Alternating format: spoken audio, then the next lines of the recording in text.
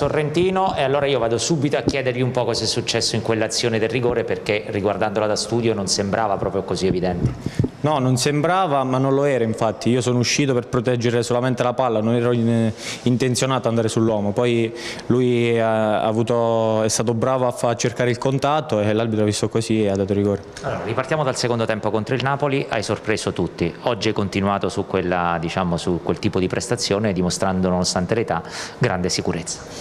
Sì, io mi alleno sempre al massimo, anche in settimana, per dimostrare al mister che sono pronto.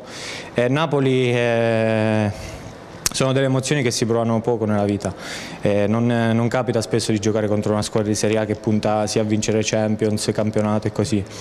Eh, io do sempre il massimo, quindi se arriva che devo giocare eh, do sempre il massimo, poi le scelte le fa il mister.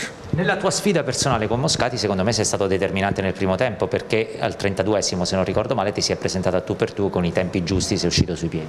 Sì, era, era una cosa che avevamo programmato anche in settimana, che loro avevano questa giocata laterale e stoppavano e tiravano, io mi sono fatto trovare pronto e l'ho chiuso. Quindi vuoi mettere un po' pressione a Di Gennaro? No, no, assolutamente no. Eh, no. Io e Raffa siamo molto uniti, ci alleniamo sempre al massimo, poi l'ho detto, le scelte le fa il mister. Studio sorridono però.